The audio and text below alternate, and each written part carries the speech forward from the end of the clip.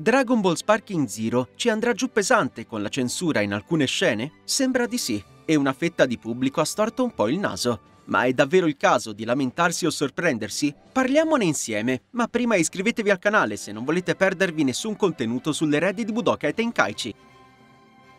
Il character trailer dedicato alle saghe dei Saiyan e di Freezer ci ha mostrato alcuni dei momenti più tristi di queste sezioni di Dragon Ball Z.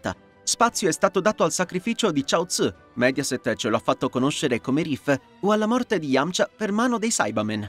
Per quanto concerne la leggendaria scena in cui Piccolo lancia il suo Makanko Sappo contro Radish tenuto fermo da Goku, un repentino cambio non ci permette di vedere la sua conclusione. Non sappiamo insomma come e se sono stati riprodotti i danni inflitti dalla mossa ai due Saiyan.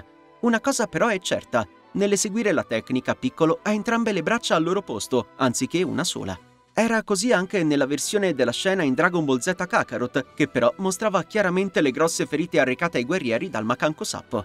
Il character thriller di Sparking Zero contiene anche il momento in cui Freezer in seconda forma incorna il povero Krillin.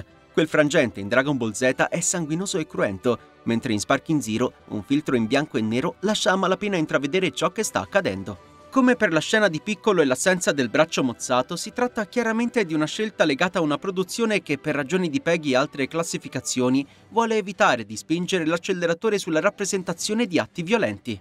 In Kakarot questo momento è stato proposto in una cinematica, con Freezer che pur trapassando il terrestre col suo corno non lo tortura a lungo. Per quanto concerne i Budokai Tenkaichi, la seconda forma di Freezer aveva una mossa dedicata a questa scena. Non era certo violenta come quella dell'anime, ma almeno non c'era il filtro in bianco e nero a coprirla. Insomma, capiamo perché alcuni hanno espresso i propri dubbi in merito alla scelta cromatica in Sparking Zero. Al contempo, però, potrebbe trattarsi anche di un frangente modificato appositamente per il trailer e un po' più esplicito nel gioco completo.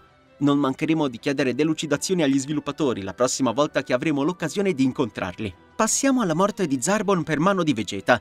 In Sparking Zero, lo si nota facilmente, il fascio di energia non reca alcun danno visibile al mostruoso sfidante del principe dei Saiyan, al contrario di quanto avveniva in Dragon Ball Z.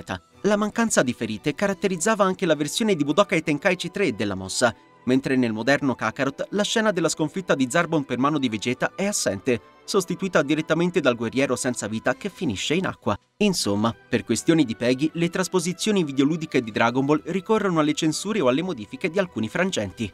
Sparking Zero non è certo una novità in tal senso, quindi c'è ben poco da sorprendersi.